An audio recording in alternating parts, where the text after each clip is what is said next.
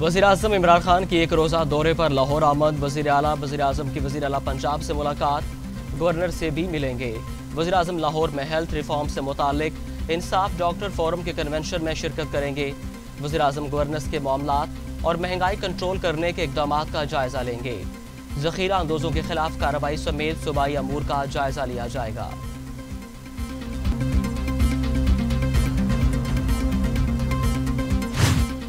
मुस्लिम league नून के रहनुमा ख्वाजा आसिफ कहते हैं, हुकूमत की किसान मार पॉलिसी है। हमारा मुल्क ज़रिए है, लेकिन ज़रात को तबाह किया जा रहा है। ज़रात से जीडीपी ग्रोथ बढ़ा सकते हैं। दो साल पहले गंदम सरपलस थी, आज इंपोर्ट कर रहे हैं। महँगाई की सूरत में आम आदमी नुकसान उठा रहा है।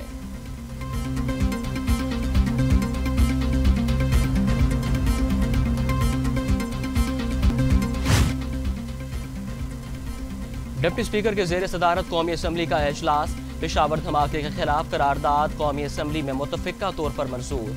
पेशावर मदरसे में दहशत गर्दाना हमले की भरपूर मजम्मत करते हैं। ऐसे अनासर को कानून के कटहरे में लाकर करार वाकई से दी जाए करारदाद का मतन।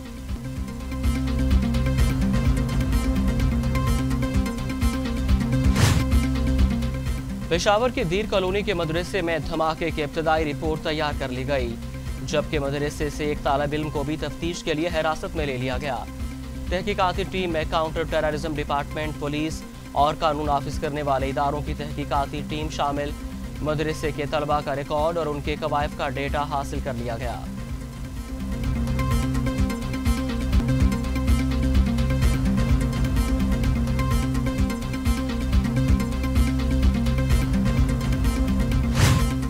पेशावर में दीर कॉलोनी की मस्जिद और मदरसे में धमाके के बाद तदरीस का अमल आर्जी तौर पर मअतल कर दिया गया।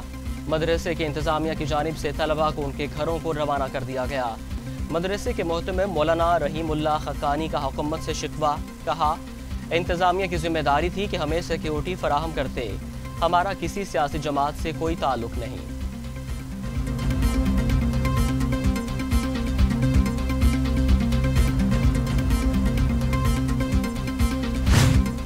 मुस्लिम लीग नून के रहनुमा ख्वाजा साद रफ़ी कहते हैं, पाकिस्तान में दहशत गर्दों ने फिर सर उठाना शुरू कर दिया।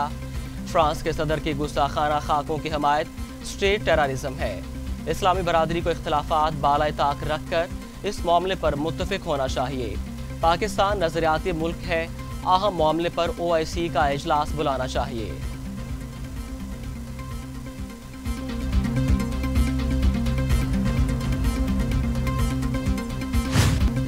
और वज़ीर ममलिकत अली मोहम्मद कहते हैं, बड़े अरसे बाद दहशत गर्दी के वाकत हो रहे हैं। दहशत गर्द आज हमारे खिलाफ सरगर्म है। दहशत गर्दी के खिलाफ जंग में हम सब अपनी अफवाज के साथ खड़े हैं। मौजूदा सूरत हाल में हमें इतिहाद से काम लेना होगा।